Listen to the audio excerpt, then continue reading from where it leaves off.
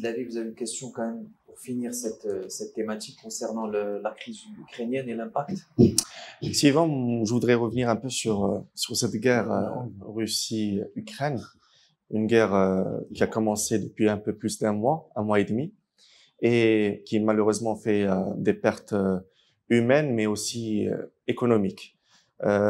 Pepsi, comme beaucoup de multinationales américaines, a décidé de suspendre ses activités en Russie euh, sous forme de protestation de l'invasion russe en Ukraine.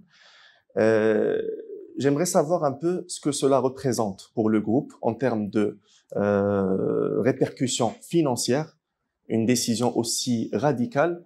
Euh, quelles sont euh, les répercussions financières de cette décision? Si vous pouvez nous donner un peu de chiffres sur ce mois. Je, ne, je ne pourrais pas répondre. Hmm. Donc, je, je n'ai pas, enfin, je ne suis pas habilité en fait à, à, discuter de ça. Je ne connais pas du tout notre business en Russie. Donc, je préfère qu'on reste sur le. Bien sûr, vous avez senti un impact juste à votre niveau au Maroc? Est-ce que vous avez senti un, un, un, impact, un changement, quelque chose qui a pu affecter? La, la, la guerre nous a affecté euh, parce que d'abord, euh, vous savez qu'on utilise les canettes. Les canettes, c'est à base d'aluminium. Le plus grand exportateur du monde, c'est la Russie. Et donc, le, le fait qu'ils n'exportent plus comme, comme avant a fait que les prix de l'aluminium ont, ont, augmenté. Le deuxième impact direct, c'est l'effet sur le pétrole. Donc le pétrole a augmenté.